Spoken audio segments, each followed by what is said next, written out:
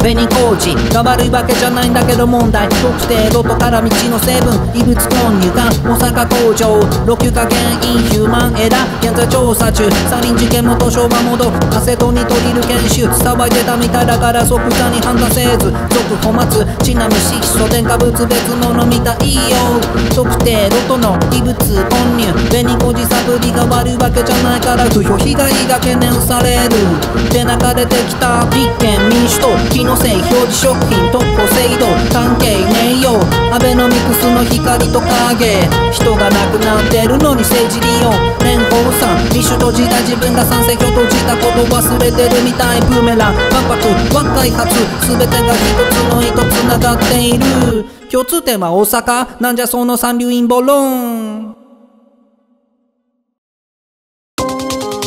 想はとにかくすごい。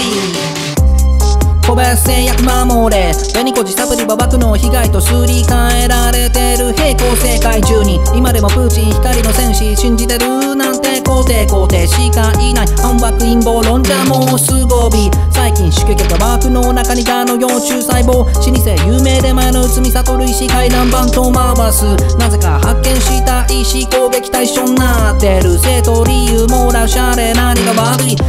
とクビになった池田敏也議員人口自身内海医師と同じレベル。枠の接種歴調査日本企業潰し。だってさこれが被害者連絡事務局長。コミュニティのと国内ナンバーワン。世界段階笑い男さん枠で決定。断定ワオ。安倍側安倍のせい立憲民主と同じレベルのことをやってんだぞ。